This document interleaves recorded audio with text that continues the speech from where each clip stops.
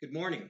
My name is John Hudson. I'm the pastor at Pilgrim Church, United Church of Christ at 25 South Main Street in Sherborn, Massachusetts. But today I'm coming to you not from the church, uh, but from the dining room of the parsonage. We've had amazing volunteers and professional people since March, every single Sunday going to the church and recording our services. And we just thought it was really important to kind of give people a little break and a little Sunday off. But even as we do that, I want to offer a prayer of deep thanksgiving for Doug, our tech guy, for Dave, our music person, for Angie, who has done amazing children's sermons, and for all of the deacons and the soloists who have joined us for this Sunday. so, apologies in advance if this is more like cable access than cable TV um, but I'll try my best. Um, and uh, I thank Doug for trying, training me on this uh, yesterday. I really have only one announcement to share. It's one that I'm very excited about. On Sunday, September 6th, Sunday, September 6th, at 9 a.m., we will be holding services outside uh, at the church, on the church grounds. Uh, hopefully inside of a tent and then outside of that tent too. We'll have a good PA system. The Pilgrim Band's going to play. It's going to be a wonderful Sunday. Kind of remind us how wonderful it is to be together, not just virtually, but physically. Um, there'll be much more information about that uh, in the next two weeks, both on the eWord, uh, on our website, and on our Facebook Live page. And so, with that, let us come into worship. Our call to worship is from Psalm 34, verses 1 to 3, Psalm 34, verses 1 to 3, and I would invite you to read along with me at home if you have your Bible with you. I will bless the Lord at all times. His praise shall continually be in my mouth. My soul shall make its boast in the Lord. Let the humble hear and be glad. O magnify the Lord with me and let us exalt his name together. Amen. You know, I don't know about you, but I don't get through a week here in um, life without making a mistake, without losing my patience with someone, without forgetting to say thank you to someone who I might take for granted um, without maybe using words that I shouldn't have used or without being silent when I should have um, spoken up. And so at this time, I would invite you to enter into the quiet places of your hearts as we come into a time of confession uh, and confession of sin and assurance of pardon. So let's all be in a spirit of prayer together. Let us pray. Oh God, on this beautiful summer Sunday, on this Sabbath morning, we're aware of all the blessings of our lives, of all the good things, of all the ways that our lives are abundant. But sometimes, God, we cannot see that for whatever reason. We cannot see it because sometimes we lose hope. We cannot see it because maybe sometimes we feel like we're entitled to all of those things. We cannot see it because we're in too much of a hurry. Or we cannot see it because we feel beaten down by the way things have been going lately in our world, not all the time, but certainly much of the time. And so this day, God, hear us as we bring to you all of the longings and the desires of our hearts, and bring to you the ways that we might have fallen short in this past week, and the ways that we lean upon you and depend upon you for grace and for love and forgiveness. And so now, in the quiet places of our hearts, please enter in and hear our prayers.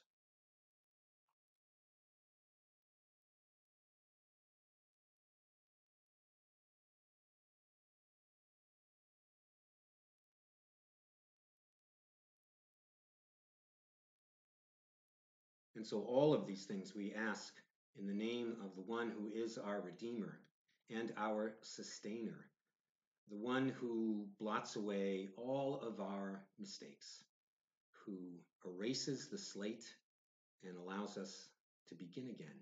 And what a gift that is. Jesus Christ, who always invites us back into the Sacred Heart for um, eternal resurrection and for second chances um, in our world, in our lives, and in our souls. And we hope for all of these things in trust, and we pray together as a sign of our unity in Him, our teacher and friend, Jesus Christ. And so we pray the prayer that He taught us Our Father, who art in heaven, hallowed be thy name. Thy kingdom come, thy will be done, on earth as it is in heaven. Give us this day our daily bread, and forgive us our trespasses, as we forgive those who trespass against us. And lead us not into temptation, but deliver us from evil. For thine is the kingdom, and the power, and the glory forever. Amen. And so, if uh, there are any young people watching today, any um, uh, kids or children, um, I would ask uh, parents to kind of get them in front of the screen at this point because I'd like to share with them a special children's message. So, today we're going to be talking about a word that you probably know pretty well. Um, and a word that you may have heard me talk about before, but one I want us to think about practicing more and more in our lives. And um, the word that we might not know too well or understand, it's a big word, it's gratitude. But the word that we might understand and um, know is to give thanks, thanksgiving. And that's when in our lives we step back from everything that's going on, from how busy we are, or how frustrated we are, or how tired we are, or how we're not getting along with our sibling, um, or someone spilled milk at the table or whatever. And even in the midst of kind of being a little cranky sometimes, um, we step back and we look for things in our lives that we can thank God for. That we can thank God for because God creates all things in our lives. God gives all things in our lives. And we are kind of blessed enough to receive those gifts. And so I want you to think about today what maybe one thing is that you are really grateful to God for in your life. What are you thankful to God for? And I'm going to share a couple of my things today, and and then maybe um, you can think about what some of those things are too, and maybe share with your parents. So I've got three things that I'm really grateful for today. Actually, I think I'll do four. The first is technology. That's what's bringing me here into your living room uh, today. Um, technology, our cell phones, our TVs, our computers, the Zoom um, classes that you're going to be, some of you will be taking online in the fall. Technology is a pretty amazing thing. And since this whole COVID thing started, technology in many ways has helped to save us and bring us together. So I thank God for technology. I thank God for coffee. That's my favorite beverage in the world. Uh, it's dark and it's hot and it's smoky and it's delicious. And every single morning, I hope that I never take for granted how good it tastes and how it helps wake me up and start my day. So I thank God for coffee. I thank God for this red and ripe tomato. This is a tomato that I actually grew in my own garden. Now, God provided the sun and the rain um, and the seeds, um, but now I get to eat this tomato later tonight in a really good salad. And I'm just grateful for food, for really good food. And then finally, I'm going to show you a picture. I am thankful for my family, for my family for all the people in my life who I am connected to by blood and who love me and who I get to love too. That's pretty amazing when you think about it. So, I am grateful for technology, for coffee, for good food, and for my family. And so today, I want you to think long and hard about what you are most thankful for to God in your life and then maybe share that answer with your mom or with your dad, or maybe tonight at dinner, everybody could go around the table and say one thing that they are grateful to God for. And so let's say a little prayer together. Let's bow our heads and put our hands together and talk to God. God, help us to be a people of gratitude, to be more grateful, to not take things for granted, to look around in our lives and to not see just the things we don't have, but help us to see the things that we do have. To not think of the things that we want, but think of the things that we have already been given by God, and then help us to be a deeply grateful people, God, in the days and in the week ahead. And all this we ask in the name of Jesus Christ. Let everybody say, Amen.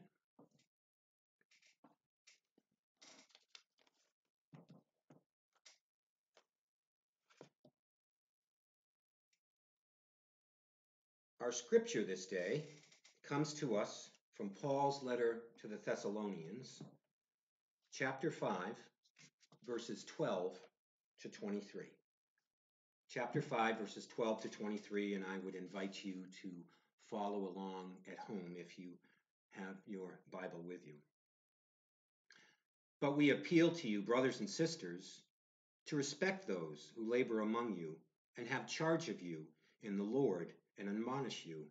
Esteem them very highly in love because of their work. Be at peace among yourselves. And we urge you, beloved, to admonish the idlers, encourage the faint hearted, help the weak. Be patient with all of them. See that none of you repays evil for evil, but always seek to do good to one another and to all. Rejoice always, pray without ceasing, give thanks in all circumstances, for this is the will of God in Christ Jesus for you. Amen.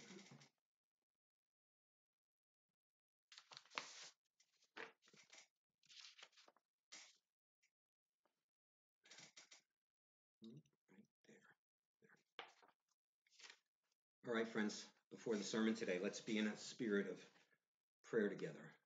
Let us pray. God, I ask you this day to be in our hearts and our minds and our souls, to open us up to your word, that when we need comfort, it might comfort us, that when we need wisdom, it might give us wisdom, that when we need to be motivated or pushed to change, it might do that, that it might transform us somehow, God, into the people that you truly want us to be and transform this world, this world into the creation that you wish it to be. Amen. And again, from that text, rejoice always, pray without ceasing, give thanks in all circumstances, for this is the will of God in Christ Jesus for you. Eagle Butte, South Dakota, found on the Cheyenne River Sioux Reservation. In the summer of 1994, I volunteered for three weeks as a part of a Habitat for Humanity Blitz build.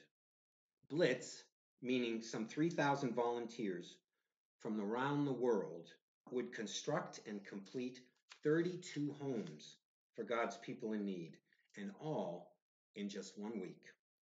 Yup, seven days. And all under the inspiring leadership of President Jimmy Carter.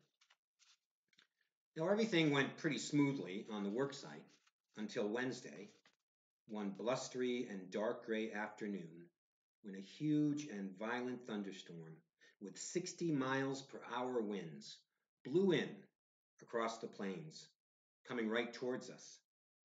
That was a storm this New England Yankee was not used to seeing or experiencing or preparing for. Not at all. As you looked to the east that day, the view on the reservation went on for miles, the plains being among the flattest places in our country. And so out there, maybe five or six miles away, way off at the edge of the horizon, were these gigantic, almost black thunderclouds, stretching from the ground up to thousands of feet in the air and It was all headed straight for us in our worksite. Our supervising house builder, a funny and smart man named Tim, suddenly began yelling orders. We've got about five minutes before this storm hits. If it isn't already nailed down tight, secure it right now.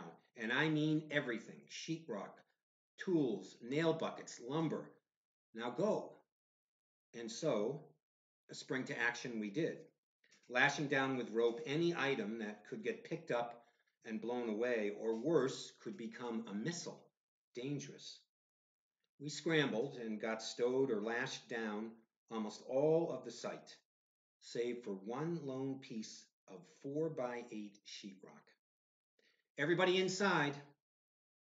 And then from the shelter of that house, we watched in wonder as that mini tornado blew through our neighborhood, swirling up clouds of dust, howling, and then picking up that lone piece of sheetrock, dragging it along in its wake as it passed over, then through, then blew onward, westward, to continue in its trail of damage.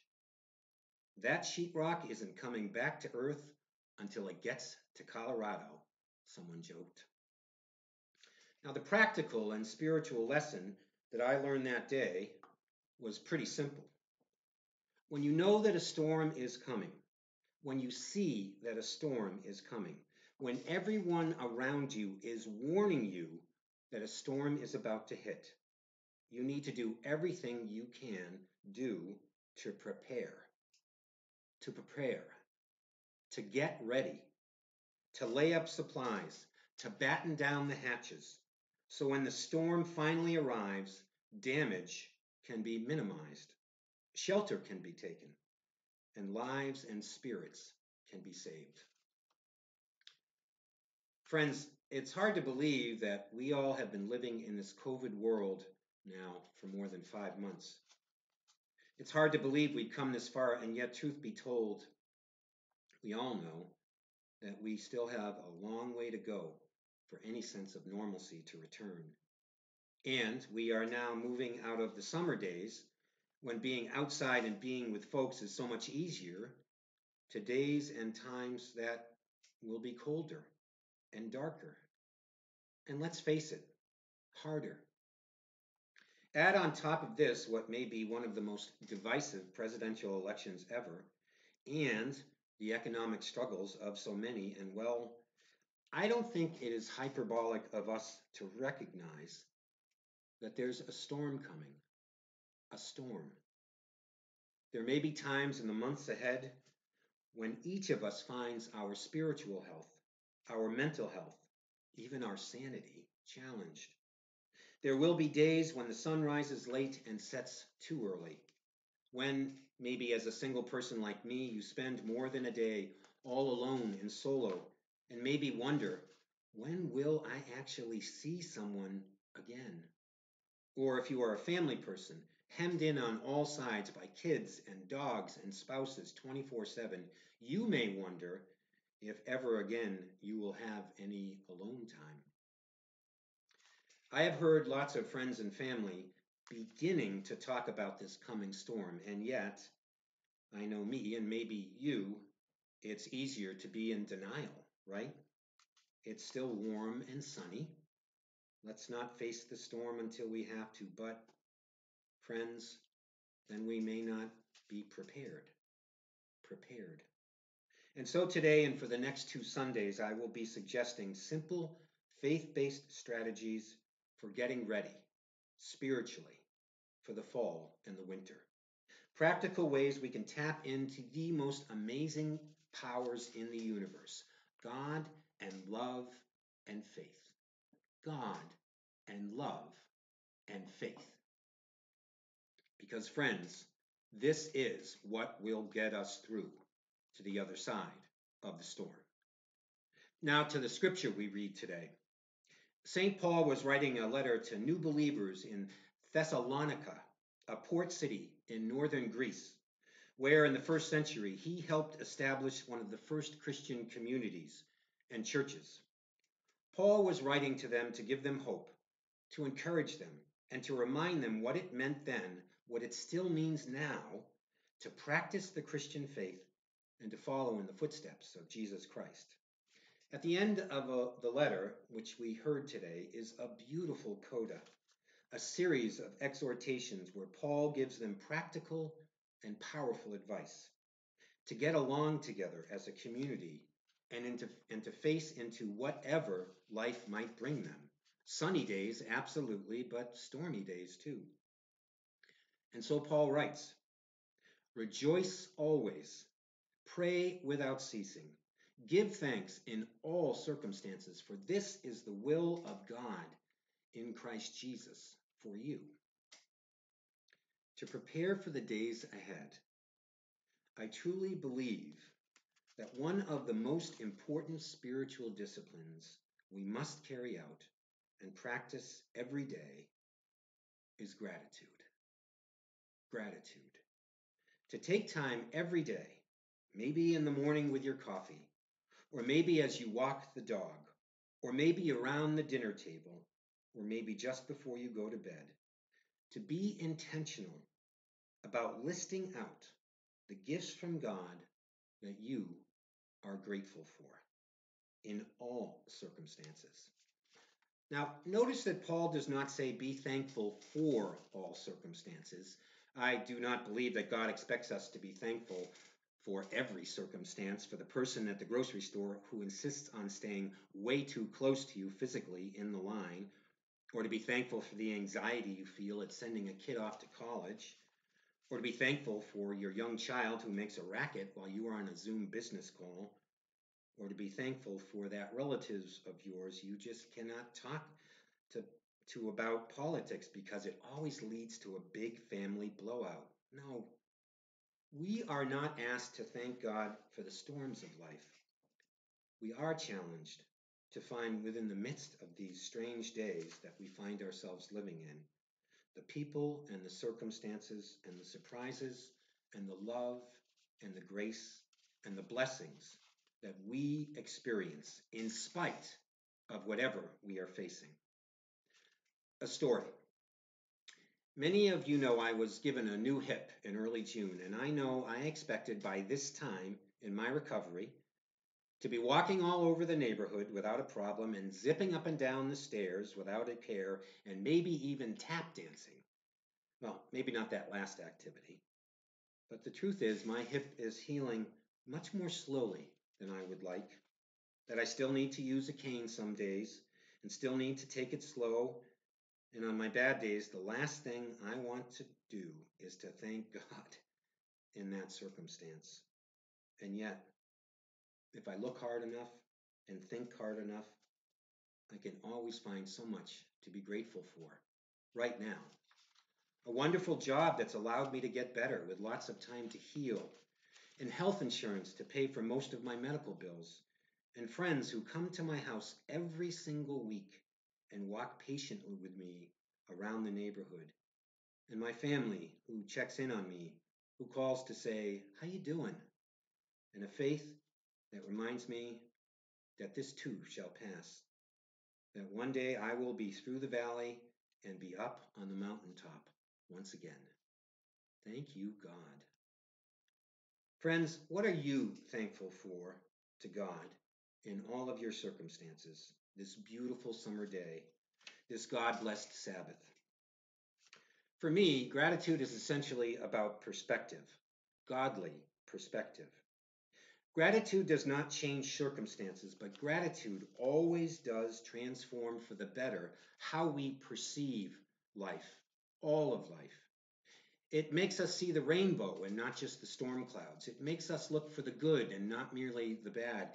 It reminds us that in any given moment, we can always, we must always find something, even just one thing, to thank our God for. To realize that no matter what, our generous and giving God is always active in our daily faith walks. In her book, The Language of Letting Go, this is how the author Melody Beattie describes what happens to life when we seek to be grateful every single day in all circumstances. Gratitude unlocks the fullness of life. Gratitude turns it, it, gratitude unlocks the fullness of life because it turns out that we have enough and more. Gratitude turns denial into acceptance, chaos to order, confusion to clarity. Gratitude can turn a meal into a feast, a house into a home, a stranger into a friend. It turns problems into gifts, failures into successes, and the unexpected into perfect timing, and mistakes into per- important events. Gratitude can turn an existence into a real life and disconnected situations into important and beneficial lessons. Gratitude makes sense of our past, brings peace for today, and creates a vision for tomorrow.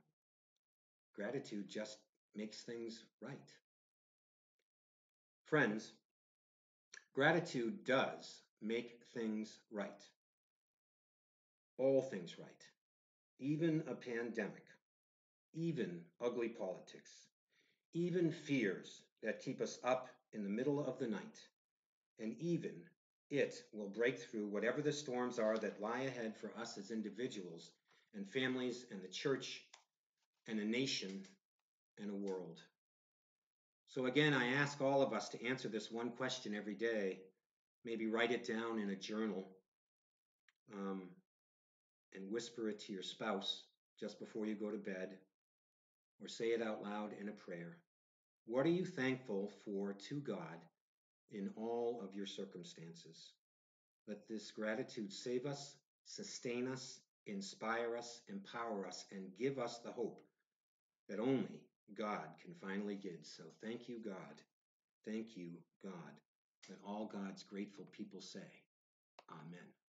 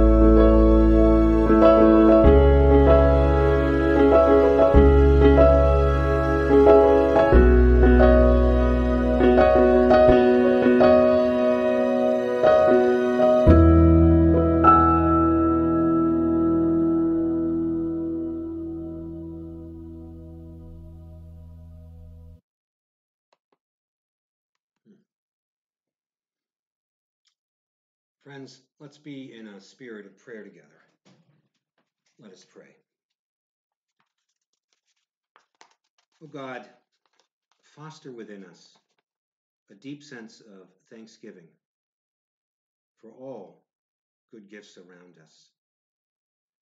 Help us to have faith that these gifts, God, these gifts are heaven sent.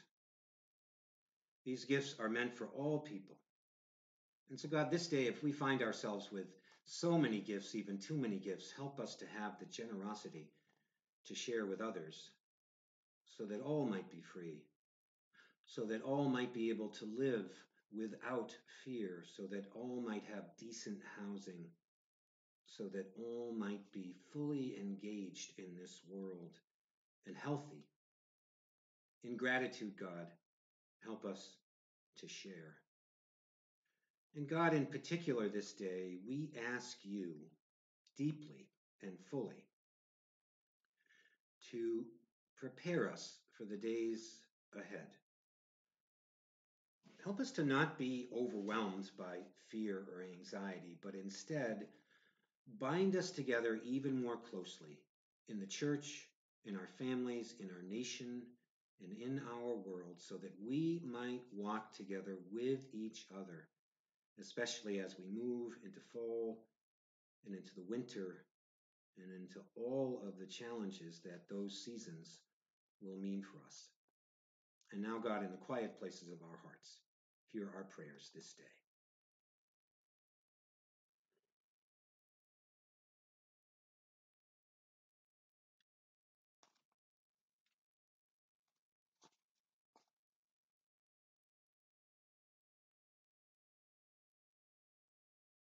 All of these things and so much more we ask in the name of Jesus Christ. Amen. Amen. And so, along with gratitude, when we give thanks, um, we give thanks. It's thanksgiving. The notion that out of a deep sense of gratitude, we can do nothing but give.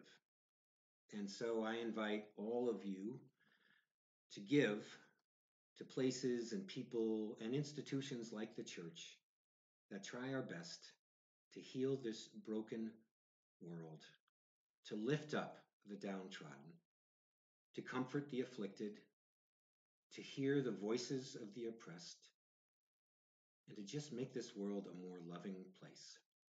If you are new to our video this morning or a visitor, uh, you can make donations online at our website, pilgrimsherborn.org, pilgrimsherborn.org, and I offer an extra prayer of thanksgiving today for all of our members and friends who have been so faithful and so generous in their giving in the months that we have kind of walked through together as a church.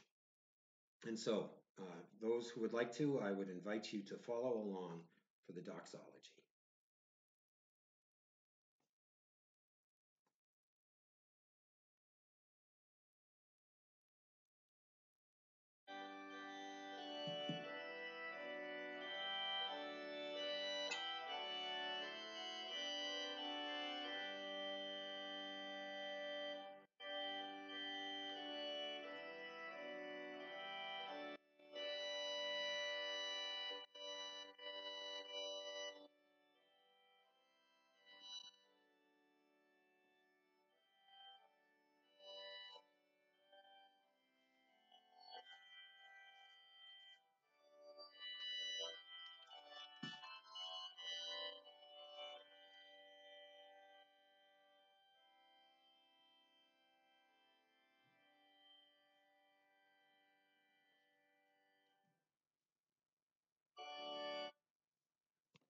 I told you it was going to be like cable access sometimes.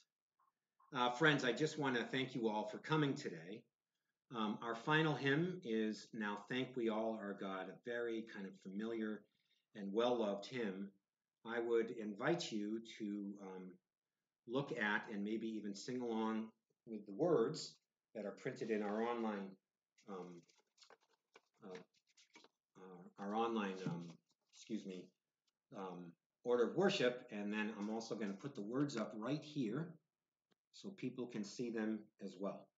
And so our final hymn is Now Thank We All Our God.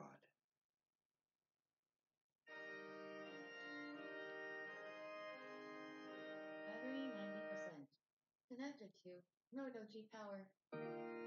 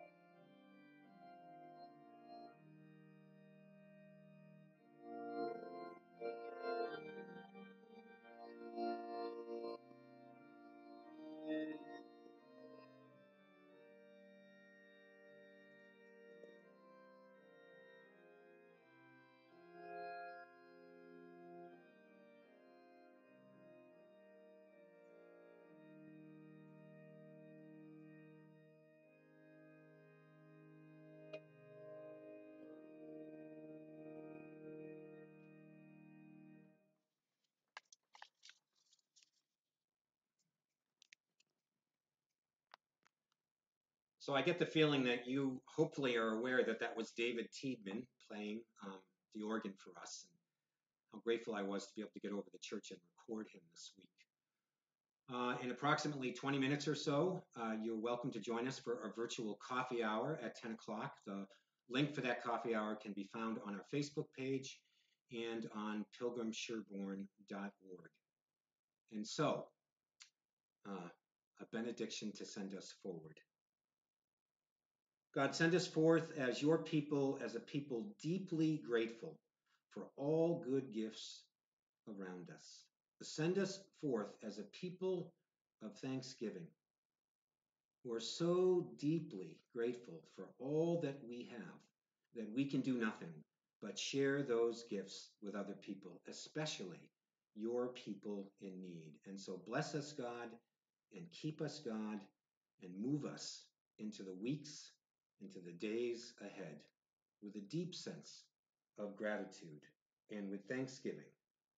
Let all God's people say, Amen.